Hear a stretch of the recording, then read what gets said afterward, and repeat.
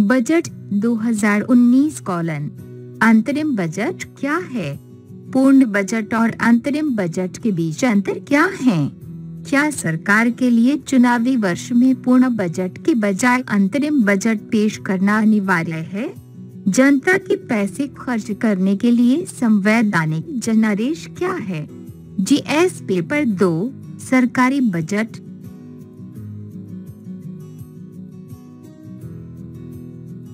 इस वीडियो में आप सभी उपरोक्त प्रश्नों के लिए विस्तृत उत्तर पा सकते हैं। उपरोक्त लेख से प्राप्त किया गया है।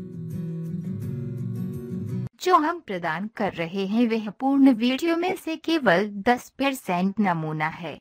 हमारी वेबसाइट www.hindi.isvideos.com पर जाएँ और सभी वीडियो देखने के लिए पाठ्यक्रम में शामिल हों। ये किस संदर्भ में है? अंतरिम बजट जो पिछले वोट ऑन अकाउंट से अधिक पूर्ण बजट की तरह था, फरवरी के पहले दिन दो पूर्ववर्ती यूनियन बजट की तरह प्रस्तुत किया गया था। 2016 से 17 के वित्तीय वर्ष के दौरान लिए गए एक निर्णय के बाद बजट फरवरी के पहले दिन पेश किया जाता है। लेकिन फरवरी के अंत में घोषित बजट के फैसलों पर सरकारी मशीनरी ने भी धीरे धीरे जवाब दिया।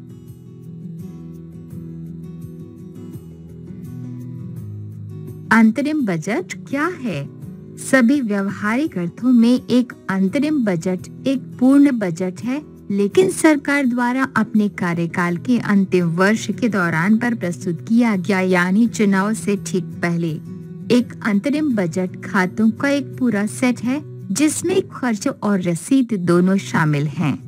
लेकिन इसमें बड़े नीतिगत प्रस्ताव नहीं हो सकते हैं। पूर्ण बजट और अंतरिम बजट के बीच अंतर क्या है?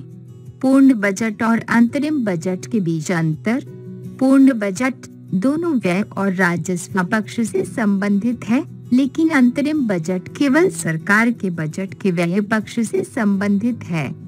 अंतरिम बजट आमतौर पर दो महीने के लिए वैध होता है, लेकिन एक पूर्ण बजट बारह महीने, एक वित्तीय वर्ष के लिए मान्य होता है।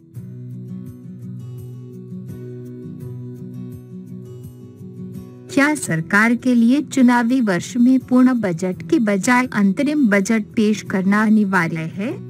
सरकार के लिए एक चुनावी वर्ष में अंतरिम बजट पेश करना अनिवार्य नहीं है।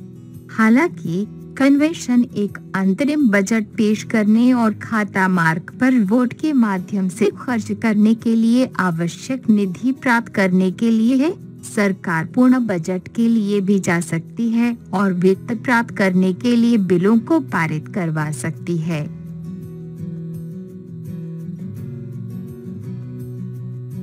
जनता के पैसे खर्च करने के लिए संवैधानिक जनादेश क्या है?